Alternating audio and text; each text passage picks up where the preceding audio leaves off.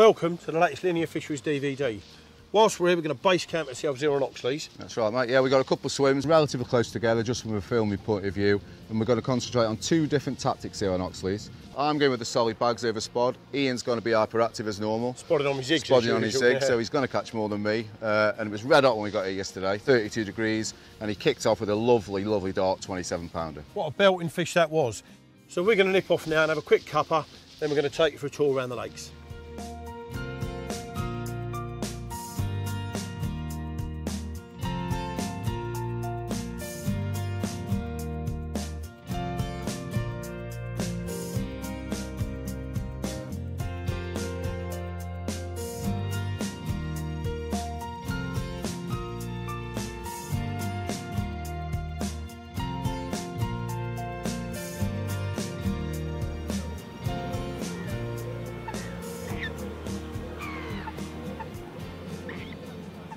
Right, here's one for you. Never been a linear before. Tip up, setting up with a peg. What do I do? A, about getting a ticket, and B, what facilities are there? Yeah, you pretty much, you can just turn up, find your swim, uh, first come, first serve basis on the swims, and the bailiff comes round twice a day, takes your money off your cash or credit card to take. Facilities wise, there's lovely showers, flushing toilets, portaloos, fresh drinking water, so you're all self-contained here. And they're open. Yeah, they're open 12 months a year, no close season, uh, stay as long as you want. And the winter, you and I have done a few winters up Yeah, here. mate, yeah. And, and it does. It, it's worth coming in the winter. Yeah, mate, the nights can be long, but you know, the fish, the big fish do come out in the winter, don't you? You've had some good fish, you had, you had your biggest in the winter, didn't Yeah, you? Yeah, I had a 44 pounder in the winter, mate. Yeah, so mate. yeah it's worth it's worth persevering. if there's one fish on site that you choose, big plated St John's. It's it's got to be the one, hasn't it? For me, Yeah, fair um, comment, it's mate. a lovely carp. It does come out. It's quite friendly, but Yeah. I'm not normally that lucky. yeah, Uh, fair comment, mate. And you? Me, I spent the, the spring actually chasing this one, moon scale out at Unity I thought over you were gonna say that, Caught all his mates, but I will go back You'll the have him, I'll go and get um, well, him. whether I get him or not, it's Mm. certainly the one I want anyway, mate. And then I'll go for the big plated.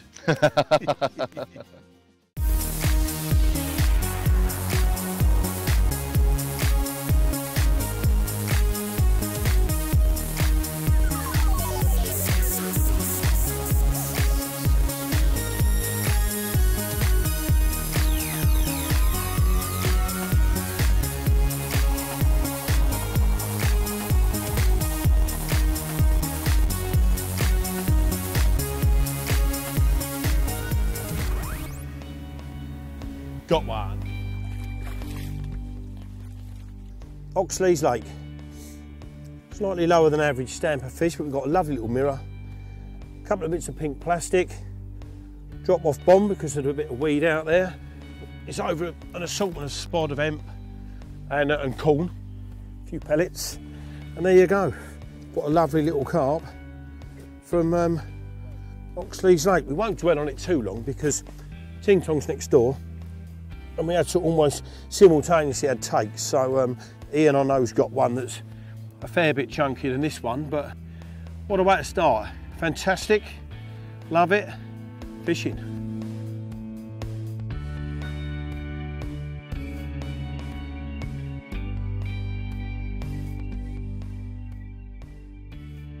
Here we go, mate. One each at the same time. And guess what? Mine's bigger than yours. What does it weigh in all fairness? it's just under 20, mate. 19, 12. Right, briefly, go on quickly. What are you doing to get this? Um, I did pretty much the same as you. I spodded Yeah. about 85 yards, but then I did see quite a lot of uh, fizzing short, and I've just dropped a couple of solid bags um, about 20 yards out. 20 yards. Really, in most really people, I mean, that's Spodsville range, isn't it? So, Yeah, yeah, but it's it, there's no weed there, uh, and I just couldn't ignore them. Yeah. As much as you've had a bite on your spod, I can't sit there and ignore. no, no, no, fair enough, mate. like well, that, there you so- go. It's two different tactics. They've got a bite exactly the same Yeah, time. yeah. But well done. If you hadn't had your eyes open, Yeah, I mean, a lot of people wouldn't see that. No. They just think I'll leave it, you know. Mm. But uh, yeah, fair comment, luckily, mate. I've got a fish bigger than yours, You have, mate, as which usual. makes change. I'm sure you'll get revenge. Oh, it's coming, mate. Well, now I know we're fishing differently because I've got little tiny mesh bags of pellet and little bits of plastic at the moment Yeah. and a drop-off bomb, Yeah. a three and a half ounce bomb. What, Yeah. You're doing it different to me, I'm, aren't you? I'm just doing it because my rods are only three pound test scoop. I put a little two ounce bomb in. Yeah. Bulk the weight out with pellet Solid bag. with the solid bag. Yeah, you And like it's only them, you and little Jake Wild that got me into it. Yeah, and fair comment, them mate. Loads and loads. They, they're just quick for getting bites. It's a mouthful. Um, I, I inject him with the hemp oil, which Yeah. is a tip I had off Chrissy Lowe. Yeah, fair comment, Um, mate. and it's just loads and loads of attraction and it pulls them down mate you know even in deep 12 foot of water it'll pull them down to the food source But even over spod, you'd use that, wouldn't you? Yeah. Because the hemp oil, then I think, pinpoints your hook yeah, bait. yeah and you're still only using a tiny little popple Yeah. you know so it's only like using a little KD or a little rig like a Brady rig like you're using but it works mate quick bites um, and you know it does work casting at showing fish like I've just done There's your proof of the pudding, mate, isn't yeah, it? You know, yeah. we've, we've got two tactics going. They both worked this morning. Um, and yours is substantially larger than my one was. So well done, mate. Lovely, mate. Nice to see him whiz off on it. There you go. There is a lovely little tip for the weedier of venues. Boilie rig. A couple of really bright ones, little pop-ups, 15 millers, buoyant as possible, in a bit of stockinette. We nick them on there. You imagine that's cast out into the lake. That'll hold that rig up. Okay, it will melt, obviously the PVA, settling the rig down. And when them pink ones come to the surface, you've got a lovely little sight bob, haven't you, to fire your freebies at. Very sneaky.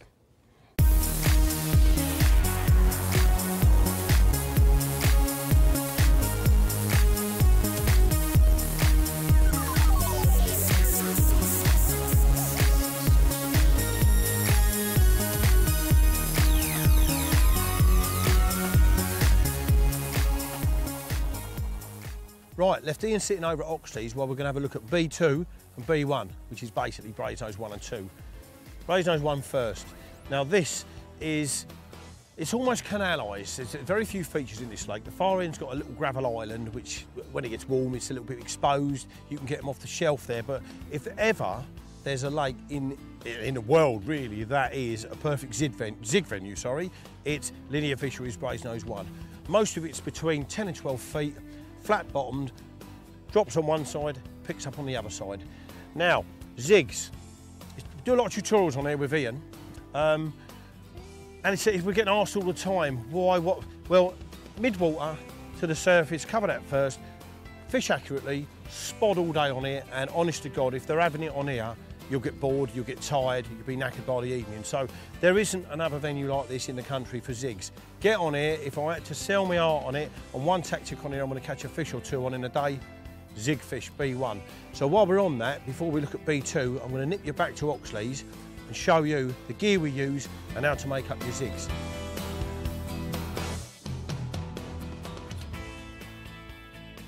There you are, proof of the pudding. Zigs do work. And there you go, zig fishing. Beautiful little mirror. Can't choose what picks it up, but it's all a bite, isn't it? I'm going to slip in back and um, show you that zig. There you go, lovely little mirror from Oxlease. Now, we spoke about zigs on uh, B1, and here we are. Very, very simple to create. There's not a lot about them actually. Lovely little highlight cut down. Black and yellow, needle sharp hook, 10 pound nylon. Now on this one we've got um, 12 foot of water out here, so I tied her up at 11 foot. And we bring it down to a, a lead clip in case we get stuck anywhere. And what with zigs is, tend to use the lightest lead I can get away with out there. I only need the lead to get it out there because a four and a half, five ounce bomb bouncing up and down on, on 11, 12 foot of hook link is not all that clever, is it? So all the linear lakes respond to this. There was about a dozen spods on that and we had a bite, so give it a go.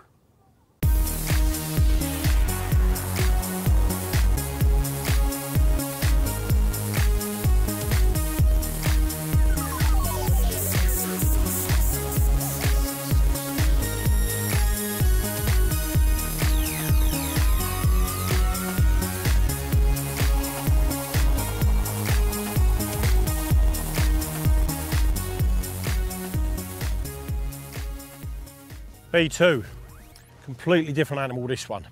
Same sort of stock level as B1, fish to mid 30s. The topography of this lake is like a lunar landscape. It's up and down all over the place. So you need your marker float to locate certain areas. I would recommend slightly warmer weather, maybe the tops of bars, but don't forget when you're feeding, the bait also rolls down them. So I'd have one at the bottom, one at the top, okay? But these same bars will then produce a massive hazard. So 20 pound leaders, otherwise you will and it does happen, get cut off on take. So safety in mind, 20 pound leaders, one at the top, one at the bottom. Now I'm going to take you back to Oxlease. The naked choddy. I could sit here and talk about this rig for an hour because it features so much in my fishing, but uh, I've only got a short little amount of time, so I'll, I'll quickly whisk through it. Uh, a lot of people think it's quite technical, the choddy, which I think is why a lot of people don't tend to use it. But the very basics of the naked choddy, it's a bead, it's your chod, it's another bead, and your lead. Now, the first thing I will say, these are 5mm soft taper bore beads. Um, and in order for them to grip the line, you put a new hole through the side of it with a very fine baiting needle. Now under no circumstances do you do that if you're using this on lead core or with any shock leader knots that are behind the rig for obvious reasons because the beads will not go over it so it's so it will be unsafe. But this way it's 100% safe. Um, and you know you're, you're looking at waters like Hardwick, certainly on the Smith side that's very very weedy. And the reason why I use the choddy a lot is because I don't tend to use a mark rod a great deal, so in the order I'm moving on to showing fish, I'm not bothered about the depth, I'm just interested that I get on them fish and put a rig that presents a bait on top of the weed and that doesn't tangle. And the naked chod is perfect for that. And I know a lot of people do like to use it on lead core. Um, I prefer to use it naked purely for the reason that I can regulate how slowly that pop-up sinks. Now I know the weight of that swivel, the crimp and the hook will just sink that pop-up so slowly that even if it lands on one strand of weed, it will sit on top of it.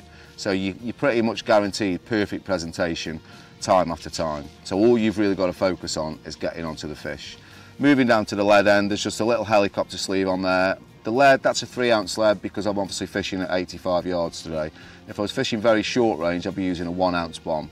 Some people think that, that, that choddies and the lead right next to the fish's mouth can pull the hook. I think if you've tied the rig correctly, and you've got the right amount of curve and the right size D that you will not get hook pulls. But there's a little quick link under there, that's just in order I can change the lead should the fish start moving closer to me. I don't need a big three ounce lead to get me out there. So the lead is purely to get me from where I am to where the fish is showing. I'm not bothered if it's 50 yards, 100 yards or 20 yards, I'll just use the right size lead for the job in hand. One final little tip, those beads are there in order for the cameraman to see exactly how the rig is set up, but as a rule of thumb, the bottom bead I have a foot away from the lead so that the rig and the hook point cannot catch on the lead on the cast and the top bead is between four and five foot away from the bottom one so that the rig's going to fly up the line, hit the top bead and come down nice and slowly on top of any weed or any debris.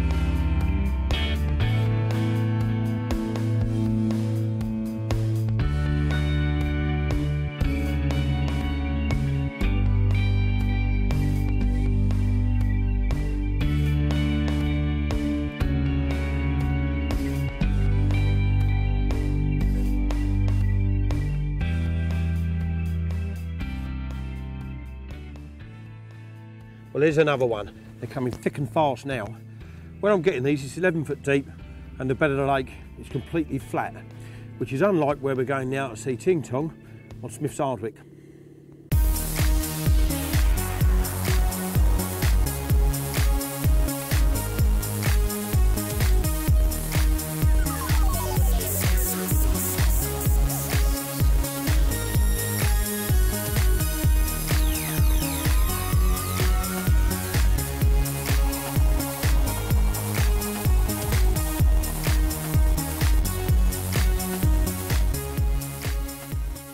Smith's Hardwick. Uh, we're now actually in the Smith side. Uh, originally it was two lakes, hence the double barrel name. Uh, the Smith side uh, is a bit more uniformed. Um, and when I say that, it's still quite deep, but it's nothing like the one that we're going to look at uh, in the next section, in the Hardwick side. Uh, and when I say quite uniform, don't be scared of the depth. You've got depths down to 20 foot here, but it, again, it's quite uniformed, quite weedy, um, but it will lend itself sort of naked chods in the weed, boilies, you know, scattered approach with a stick. Um, but there's also lots of areas, there's lots of reeds and overhanging trees. Stalking is a very good sort of tactic in the, in the Smith side.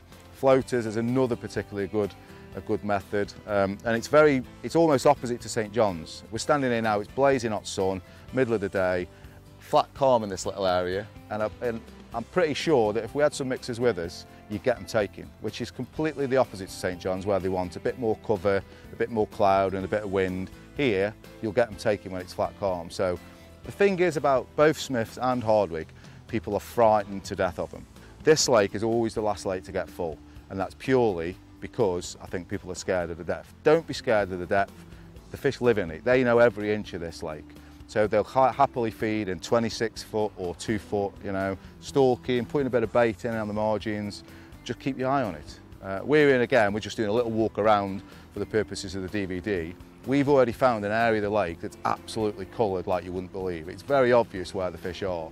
And there's a couple of anglers that are very, very close by that can't just quite get a bait on it, you know. So it's worth on this water in particular, keeping your eyes open, baiting a few little spots. Just be mindful to bait out of the sort of depth of the swans or else the, or else the birds will nail you. But the Smith side, quite uniform, but I would be tempted to perhaps a naked choddy and be quite stealthy about your approach, scatter a few boilies and just fish for a bite at a time. If that fails, get the floats out.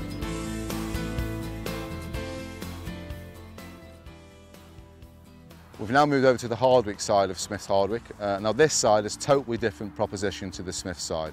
This is so up and down like an egg box you wouldn't believe. Uh, just for an example, one of the plateaus I used to fish just off the, uh, off the Summer Bay Spit, I was fishing on nine foot of water. One side it's 22 foot, the back side is 18 foot. So you've got to be pinpoint accurate with both your rig placement and your spodding. On this side, because there was more clear areas, once you found the top of the plateaus or the top of the bars, I would tend to spod little bits and bobs, hemp, corn, pellet, fish a bit of plastic corn over the top or a tiny little dumbbell and a bit of plastic, something that's mimicking what you're actually putting out with your spod. We're standing right now in Summer Bay, it's beautiful, right on the back of the wind, and I can guarantee if you put mixers out at this time of day, if the birds allow, you'll, you will get them taking. It's like no other lake on the complex and they will take in the middle of the day, bright sunshine, flat calm, and you will get opportunities on the surface. There's lots of stalking opportunities right here in Summer Bay.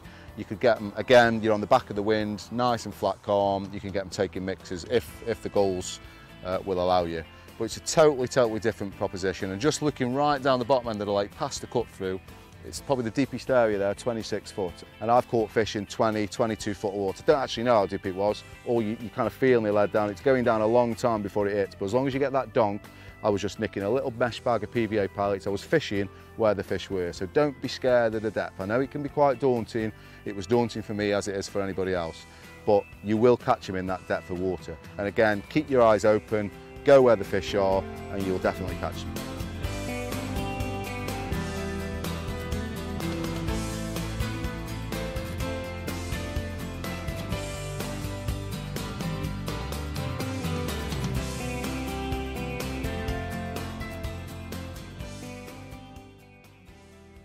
That's a good one. That's a right good Oh, one. it's got some girth on it, that has Ronnie. Mate, yeah.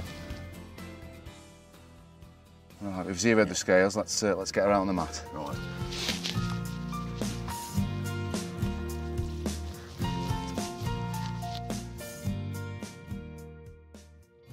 What an absolute brute of a fish. We're now going to go over to Manor, which is the real big fish lake of the linear complex, and have a look how my old muckery and tackles that place.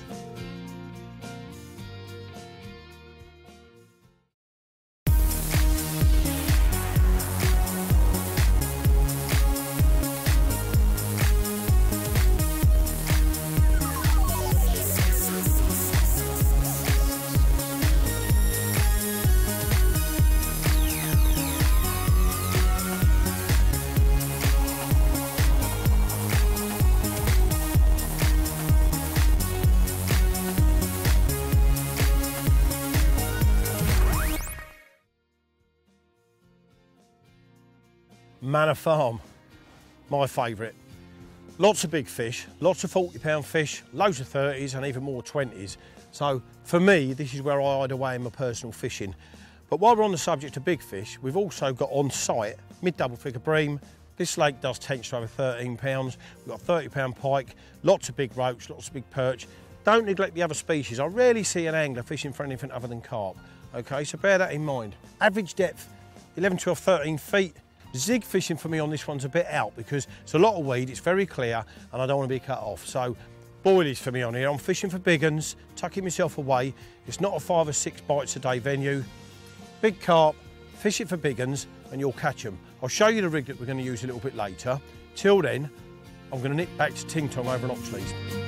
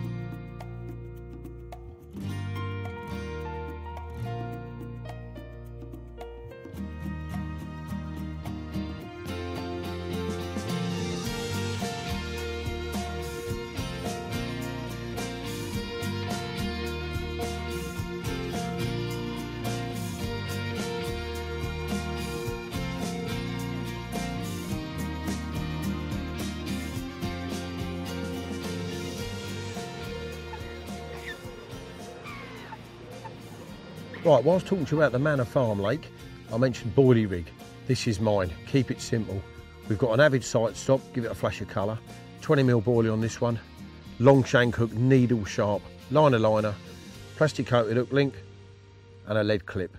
Ejects when you get in the weed, keep it simple, catch more fish.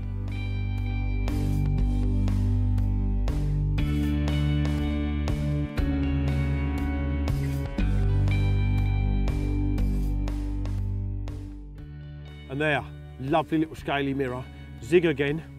And the scales on this are not too different from most of the stock in the lake we're in is at the moment, St John's.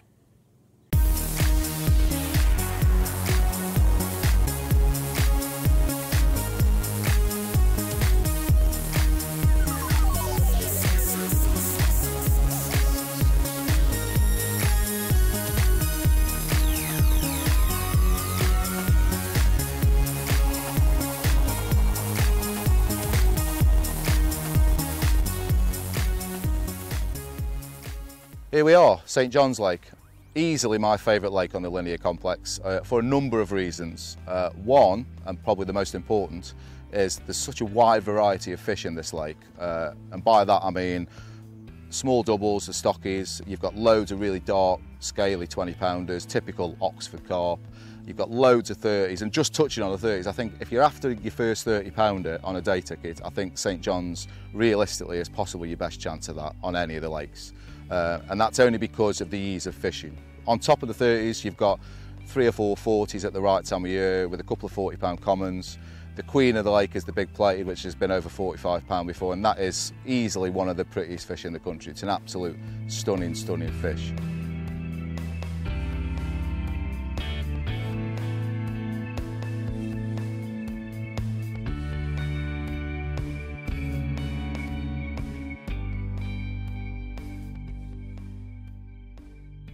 We'll go back to sort of methods and tactics that I've used in the spring and I just want to touch on spodding and it's something that I see done on here all the time and I think people can get it very wrong uh, and in that I mean I, I spodded once in the spring and it took me six hours to get a bite and I think they come in and they clear you out. At times they'll eat anything and you'll get bites over spod. So I'm not saying that spodding doesn't work because it does, but you've got to know when to put bait in and when not to put bait in. Um, and after learning and how long it took me to get a bite in the spring, I went back to fishing solid bags uh, and fishing single up baits and zigs. And I think I had my best spring ever on the capture front. I wasn't fishing specific areas, I wasn't persistently thrashing the water to a phone with a marker. I was fishing where the fish were sort of telling me they were, they were showing, and I was just fishing for a bite at a time. Um, but a lot of people get drawn into the fact that they've They've got to get the marker right out. They've got to fish on top of gravel. And we're standing here on the point swim, the third point swim, and this is my favourite area of the lake, no doubt.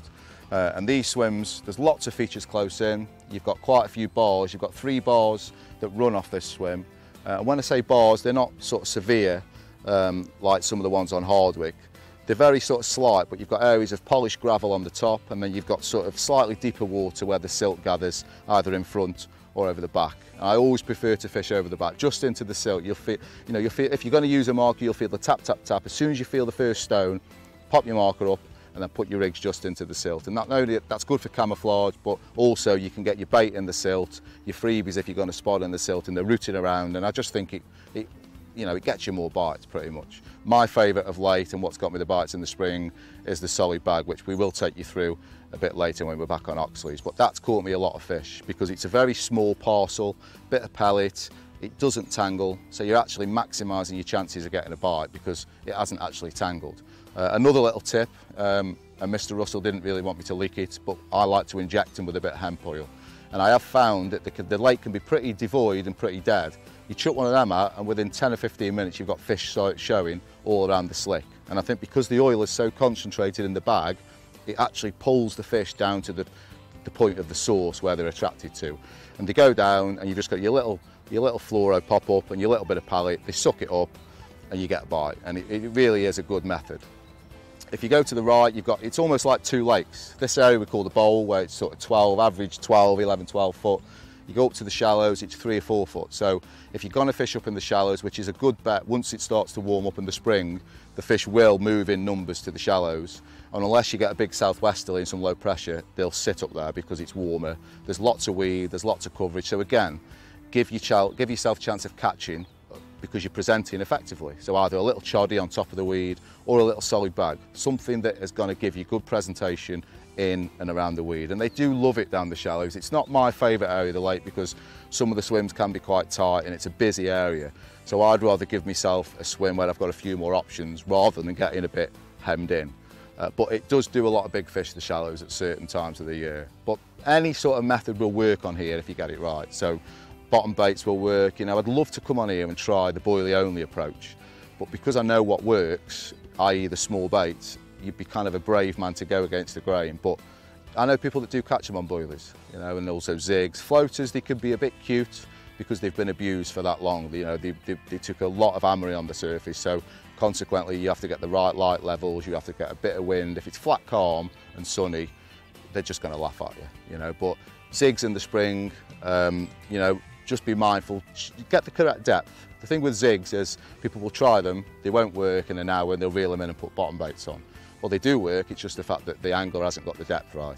Uh, as a little rule of thumb, in the spring, I was catching in on 11 foot in 12 foot of water. So if you, if you do put your mark out, it's 10, go at 9 foot, just as close to the surface. I've even had bites a couple of inches under the surface, so don't be scared of, of going right up to the surface or even over depth. So it, it's just, anything will work on here, but it's such, it's such a surprise what you're going to get because you can get a double or you can get the queen, which is the big plated at 45. Absolutely fantastic lake.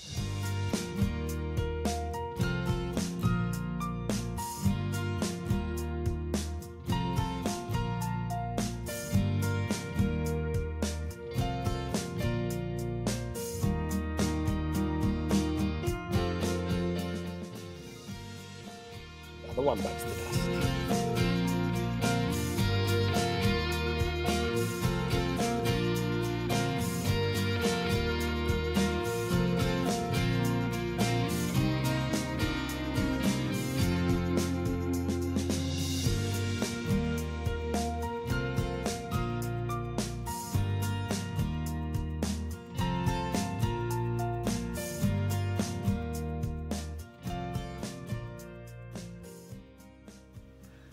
Talk you through my solid bag rig now and it's a rig that I'd use on any of the linear waters.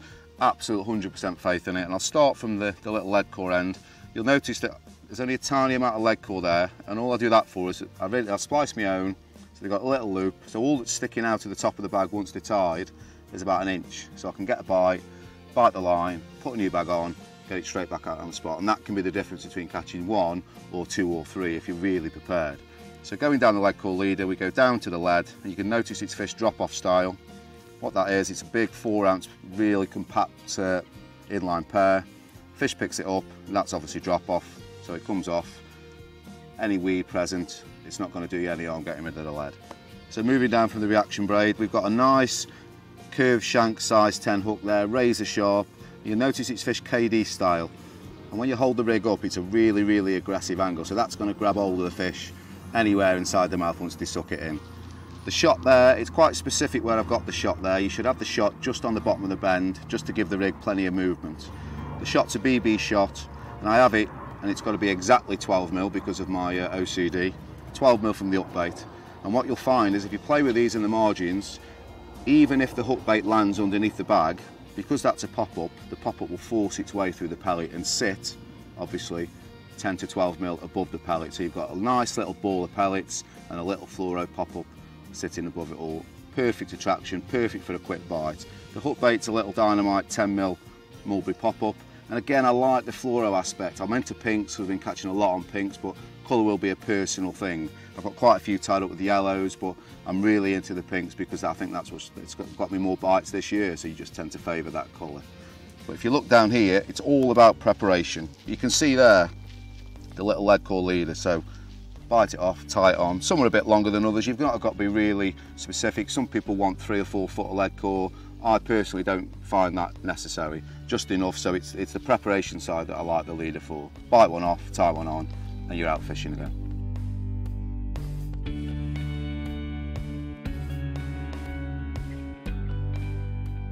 Some of the bags you can't even see the hook bait. Don't worry about that because once the bag is melted and busted open, the hook bait will force its way through the pellet, which is why I like to use a pop-up. And it just hovers 10 mil above the pellet. So all you've got is the attraction from the pellet, pulling the fish, and then the bright fluoro upbait. Perfect for a quick bite. This is a massive, massive edge. Uh, I shouldn't really give it away, but for the purpose of the DVD, I've been told I've got to. Uh, and it was something that passed on to me, and it's definitely something that's caught me loads and loads of fish over on St. John's this year. Even in 12, 13 foot of water, uh, no fish could be showing. You can put one of these out with the addition of the hemp oil, and fish is showing instantly, and it actually pulls the fish down to the source of where the oil's coming from, which with the aid of a syringe is obviously the little solid bag. So it's just a case of putting the, the needle in the top of the bag and pushing down on the syringe and all the oil gets injected into the bag. Now, not only does that soak into some of the pellets, but it will soak onto your braided hook link, the insert of your inline lead, and even the strands of your lead core. And that will keep slicking off for hours and hours, thus giving you maximum attraction for that period of time. And obviously, just for the reasons of health and safety, always be careful where you're sticking the syringes.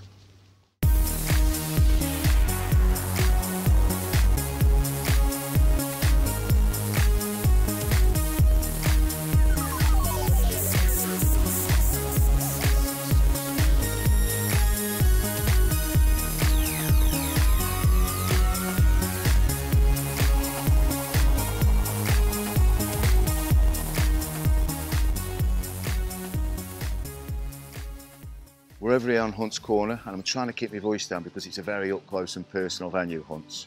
Quite limited swims, there's 10 in fact. You pay a bit more per night, but in my opinion, you're paying for that exclusivity and the room in, in and around the swims. Looking at your swim perimeters, I'd be baiting up a few spots where you can in the margins, keep your eyes on them, and the fish will normally drift in, have a bit of a munch, and it's just a case of lowering a little solid bag or a mesh bag on top of them.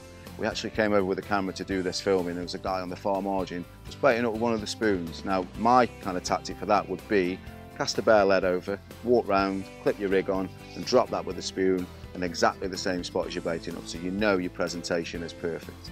On the fish stock, you've got loads and loads of 20s, there's some good 30s, and the fish run to well over 40 pound, and you've got a mixture of originals and the stock fish.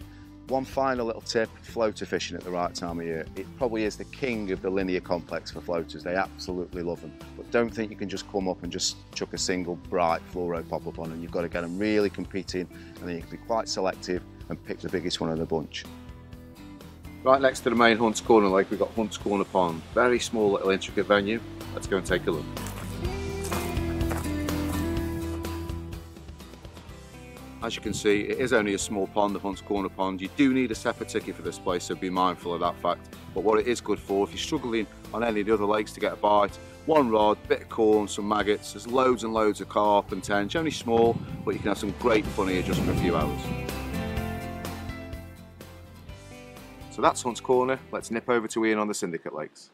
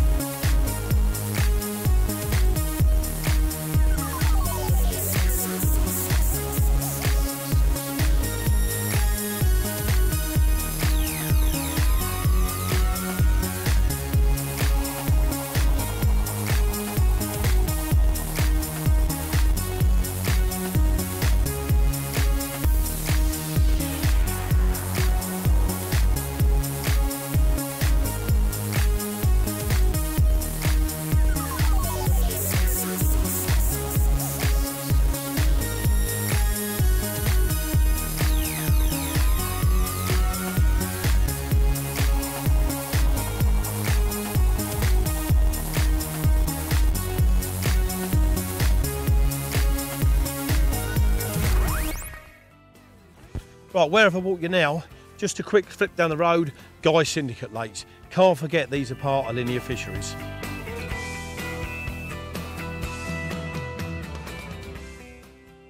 We've got gaunts, we've got Unity, we've got Yeomans behind you, Guys Syndicate. Three lakes, obviously. Now, a personal favourite of mine, there's one jump there and all, is Unity, the one behind us.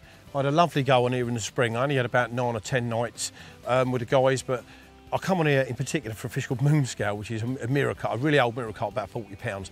Never got him, but got most of his mates, no complaints. Had a common of 43 pound, which is the biggest one in here. Incredible lake to fish, loads of backup 20s and 30s, and I had a really good couple of weeks on here. Absolutely incredible. Unbelievable this fishing is today.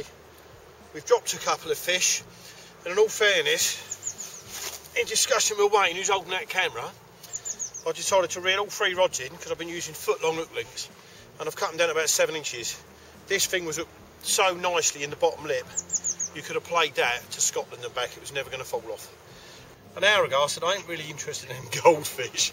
I am now. Have a look at that. That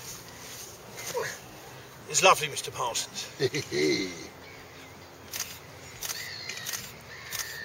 Brilliant, mate. I love Unity Lake. Behind this one, you've got Gaunts. Well, Gaunts is actually one of the prettiest lakes I've ever seen, with the islands, the overhanging willows that touch the lake. Fantastic looking pit. You've also got fish in there to mid 40s, lots of backup 30s and hordes of 20s and doubles. And last but not least, really pretty lake again, Yeomans. Now that's got, I think I'm right in saying that's got some of the oldest stock on the complex. Certainly the ones I've caught out of there, they're real long, lean mirrors, commons. The mirrors have got massive scales on, dark as you like. So there's something in all these pits for everyone. Now clearly, lovely lakes like this, the Syndicate, is going to have a waiting list through Linear. Now I am led to believe, well I'm actually told by Roy, that once your name's on the list, rarely do you wait longer than 12 months. And also, when you do get in, your ticket is a 12 month ticket. So if you join in May, you finish in May. Now get onto the office, get your name on the list, and let's go fishing.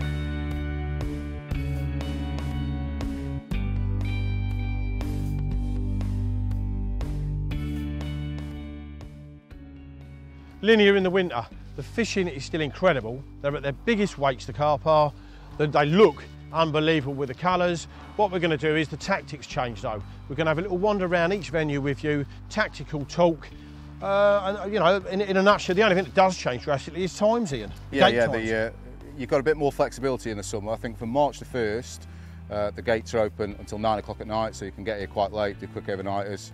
From the end of September, the gates are shut at 6. Uh, they open at 8, so just be mindful when you're coming down uh, what time you're going to get here, else the gates might be locked. Uh, without further ado, Ian's out on the manor. Let's go and have a look how he tackles that in the winter. Tactically in the winter, I refine everything. Smaller baits, small hooks, size 10s, lighter hook links that weeds dead, so 12, 15 pound braided hook links, but most importantly, reduce the size of my baits. I'm on 12 mil pop-ups or 12 mil boilies and a bunch of maggots on one rod. Pellet, corn, hemp, and a lot of maggots involved in there. So instead of spreading your baits out in the summer and hoping the fish are browsing around, bring them all to a bivvy sized area and you're gonna do all right. As far as decent pegs in the winter, well, what I tend to do is there's lots of pegs that allow you access to almost the centre of the lake most of the fish, in my opinion, in the winters I've fished here, congregate in that middle section. So all, there's a lot of pegs that fish it, so it's not just peg one, two or four, so you're not wiped out before you get here if there's someone in them. Get a peg that gives you central access to the middle, bomb, and you're in with a chance. Right, live session for me, this is on the manor. One of the tactics I do bring in this time of year, little red wrigglers come into it. Now if I've got a couple of days, I think nothing to bring a couple of gallons, and what I'll do is I'll stick a gallon straight out, and what I'm going to fish over the top of that is a nice little balanced ball of maggots.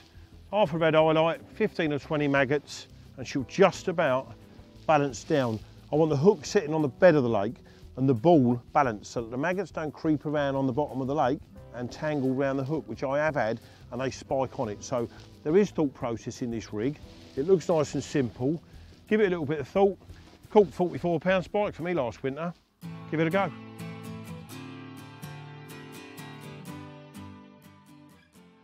Winter on Hardwick. It's not an easy venue at the best of times, but there's a lot of people that are absolutely petrified of the place because of the, the, the topography of the lake, the ups and the downs, and you've got Smiths at the back and Hardwick at the front and the cut through, so people don't really know where to go. But the fish are catchable. I haven't fished it seriously in the winter for 10 years, but it hasn't really changed that much. There's more fishing, there's still some lovely commons and mirrors, mid to upper 30s, there's some really scattered mirrors that are still knocking just on the 40 pound and they are catchable. Look for some constant depths, don't fish in the really deep water, and I think you'll get bites at any time of the year. My favourite swims on Hardwick Smiths are both the spits. Where we filmed in the summer, I've had a lot of fish off, uh, off the, that's called the Summer Bay spit, fishing that very shallow plateau. I've also had a lot of fish off the Conveyor spit, fishing into the Hardwick side. And you can keep an eye off both spits, both in Hardwick if you're fishing into Hardwick, but you can also keep your eye on Smiths behind you. You can hear them, you can see them.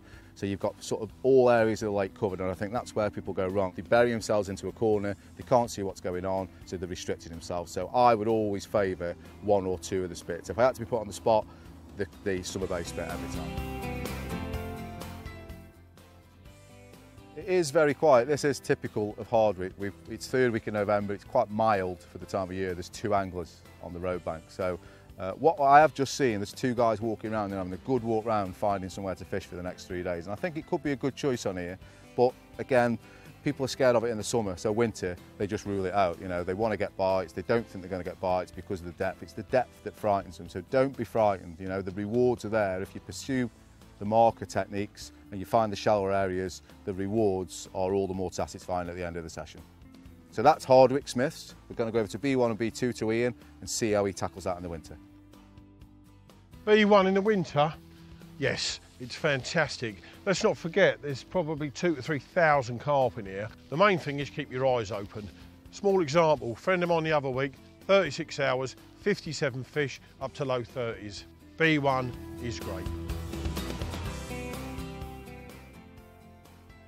B2, there's a lot more fish in this one, but they're more scaly in this one. That's a bit uh, more one-dimensional with your zigs or your solid bags. These, I'm spotting small areas at long range.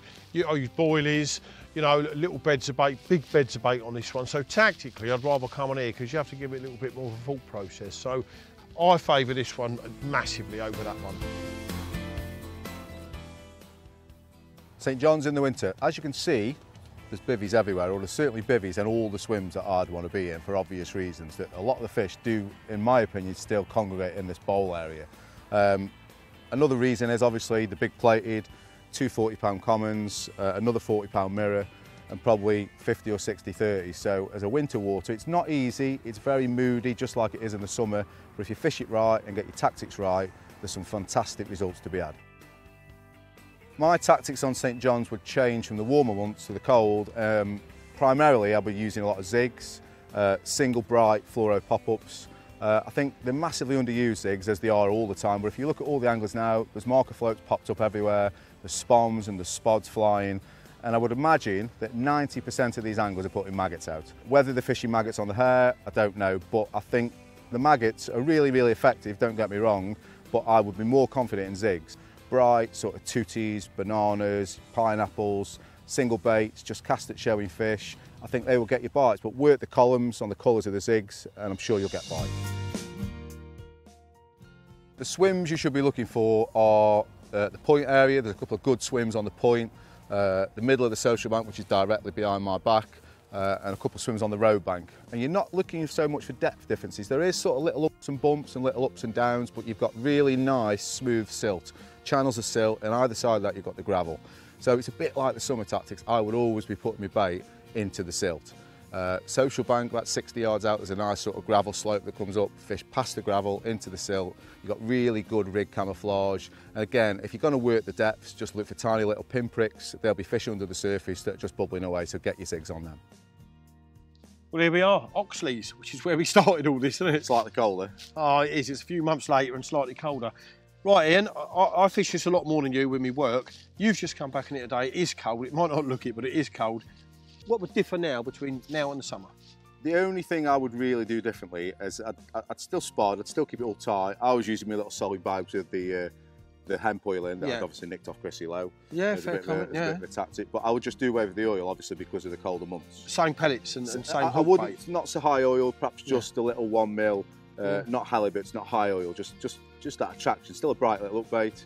Just the same. Not really feeding them. At, no, just you know, perhaps ten fat. spods, just enough for a bite, and yeah, just solid bag over the top. But uh, for well, for me, uh, like I did it earlier in the year, the spotting on zigs works. Mm. You know, but at this time of year, it's usually flat, calm, bright. It isn't exactly zigging weather. Maggots again for me on here. Mm. Yeah, you know, yeah, that I, I'll put out a gallop skyline marker. It's all quite uniform, doesn't it? as we yeah, know, Ian. yeah. It's around 11 and 12 most of the lake. Uh, in the silt centre line, which is where I tend to find most of them, just move up and down in a big gangs they, they shoal up in. Mm. Yeah, yeah. Go in a maggot and fish a couple of little balls of maggots. I, I think you're right because they did away with the weed. Yeah. I think the fish just moved from this from the bottom end on the road bank all the way up to the island. It's pressure. and possibly come back. And I think you with your maggots, uh, I think you spotting them every li- little and often. Yeah. It pulls them even if the fish is six foot off the Stops bottom. them. It It's stops hard them to and it'll stop pull them. them down on the bottom, won't it? on any of these lakes because you imagine everyone's in a, in, in a line, like say like a canal, and they've all got the same empcorn, tuna, Mm. Yeah. chili. Yeah, salt. it's all the same. Find something different that is actually going to, you know, Yeah. attract their attention. Yeah. Mm. The maggots does it. Maggots and casters does it for me, mate. And you might get a dozen bites. They're, they're inevitably going to move off. Yeah. And then you go, mate. So for me, tactically, this time of year, you know. Something Little moving about, yeah, and you're just scared of I maggots just won't touch because they make your I'm hands too, t- I'm too tight to buy them and they stink, so I'm not going to and when they get all in your hood. But I know, yeah, I know. But again, we're both we're doing similar things, but just different baits. Yeah, man. And in all fairness, your the times I've spent on here with you, your tactics produce as much as mine. It's Yeah. more self Um, confidence. like you say about it's almost like bingo fishing. When it's full Yeah. or when it's busy, you're all in a line. You've Yeah. got to be doing something a bit different, whether it's on the rig end. just tweak it, didn't you? Exactly, mate. Yeah, you're can- you're the master of the maggots. It's tweaking And interesting enough, what you said about the weed going in here, because they, they, you know, they they, they dealt, dealt done, done away with Yeah, they didn't they, in the it, summer. They didn't it, Yeah. which is an ongoing thing throughout the lakes. Mm. But now you can use your little ten pound and hook links. Yeah, yeah. Mm. you can you can you know scale it all down without. When the weed was, it was fifteen pound, or you're going to lose them. They're burying That's it. right, yeah. Now, be aware Mm. that them fish are coming in. Although they're hungry fish, and you're creating a, a bit of a stir up. Fish I'll tell you what, a lot, not a lot of people do uh, is boilies. that is also Both, true. both include- yeah. we don't do it, do we? You know, No, stick, no, not on this one. Because you could do bottom baits because there's no weed. True enough, scatter yeah. them with a stick, which I think would work, but I think you're right. The small little bits and pieces get them, don't they? on, on here, the, the, they're different on here as opposed to your Brasenose. The big shoulder and Brasenose tend to loiter near the surface in the Mm. winter as well. On here, I think I know they're lower down because Mm. I fished it a lot. So I'm looking at that, the movement and wallop. I'm sure the boilie approach would work to a degree. You know, you're always going to get bites in here because there's a lot of fish in here. But when them big packs move up and down, they're just easily miss Yeah. a couple of hundred boilies. Yeah, but a big area of red and white comment. maggots. Yeah. For me anyway. you Yeah, know, yeah, It works for me, mate. But question for you: You've done 24 hours. You've set your stall up with your few spots and all that. You ain't had nothing. You're going to move. You're going to sit tight. What are you going to do? Nice, easy question. That put me on the spot. Um, it is very obvious, but I would have a wonder. Yeah, Because I think a bit like you, they just move up from the island Yeah. To where you come in. If they're not there, you ain't seeing them. Yeah. Then you know, have a look at. There's, there's probably three, four, five acres even behind the island. yeah, there is, mate. I bet. And, yeah. and if there's a lot of people on, again, they will they'll move away from the lines. Yeah, they, they might even be 20 yards out. You know, angling They- pressure, isn't it? it, it, it just push, it pushes them about, mate. And if it's really quiet, the, the carp start to behave like they should behave. You know, Okay, they will do. They'll come to bait. You know, they'll show. But if it's packed, then they won't. They'll start Yeah. to be a bit moody, and Yeah, you're going to have to do something different. So either short in because if everyone's fishing in the middle, you're not really doing anything different unless you're tweaking. Pull them Yeah, short, or you know, there might be So two or basically, pull them in, go for a Have a wander. If you find mate. nothing, Yeah. readdress what's in front yeah. of you. There's a bit, I've had times before, mate, and on other lakes here, St John's. There's a couple of free swims, not the fancied area, Yeah. and the fish are there. So Sneak into them. Yeah, yeah, yeah. cool, mate. Again, on Oxlease, well worth a visit in the winter. Hardly anybody Hardly here. any, yeah. It's about mad. people you on know. here, isn't there? Well, It's. I mean, we just spoke to the guy. That's where we done the filming in the summer in my mate, peg. yeah. Don't know how long it's been here. Ain't had a bite yet, but it's coming. There's so many in there. Just restocked it. That's right, Another five, few hundred. pounders, yeah, yeah. yeah. So you know, Central, mate. if you want to buy it, it's not just about Brasenose, although it's a fantastic winter one. Get on here, pin and pin maggots to the bottom, and see how you get on. Let's go have a look at Hunts anyway now. Yeah, we're off there next, mate.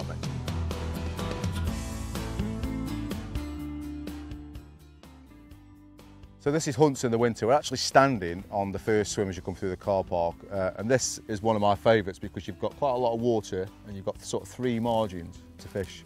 And this, like I said earlier on St John's, this is the only water I would really still continue to target the, the margins in the winter.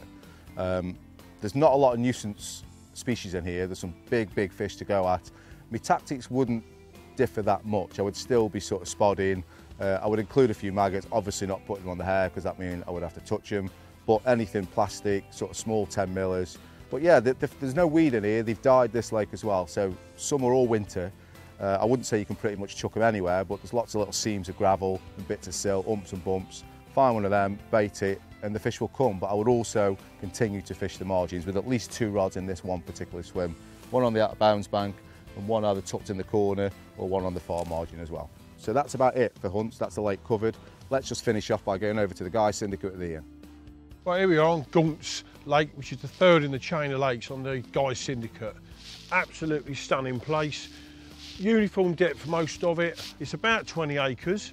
You've got a great big island there. We have got a few little bumps and lumps around, but the majority of it is fairly level, so making it much more easier fishing. It's got a big head of carp up to 45 pounds. And the tactics you would employ on either the other two of the Syndicate lakes or the day ticket lakes over the other side of the river will work here all year round. So bring them with you and you will succeed. Right, we've got three big fish in here. One's a common, which I, I, I was led to believe was about 44, 45 pound. Two mirrors knocking on the same doors to get into mid 40s. There's probably another dozen uh, 30 pound fish. So big head of good fish to go for. A lot of them are low 20s. Done a bit of myself on the summer. Caught a lot of fish in, in short sessions up to 25, 26 pounds. So you've got lots of bites to be had if you try for them, with the odd chance of a real whacker in amongst them.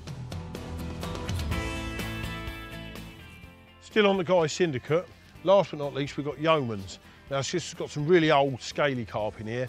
There's lots of 20s and low 30s, real scaly fish, which was famous for years ago. Same tactics apply. You're going to catch fish if you bring the tactics from there and the day ticket. So there you go. We've covered all of them. Guy Syndicate. And there you go, Linear Fisheries. Cracking venue, summer or winter. Got to be the best day ticket fishery in the country. On that note, I'm going to get my rods out on the manor. Check you later. You've all seen it. Get yourself down. By the way, did he tell you he had spike at £44? I'm off. Hehehehe